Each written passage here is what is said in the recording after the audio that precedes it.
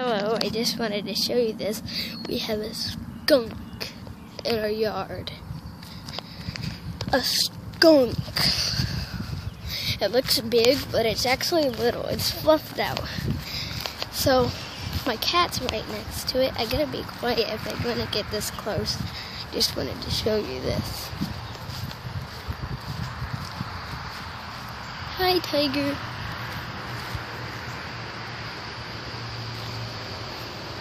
About five feet right now.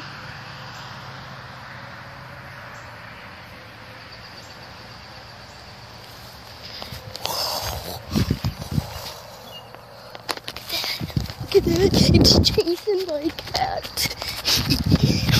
oh my. Oh my. That was scary. it chased my cat. It didn't even spray it. So I just wanted to show you that.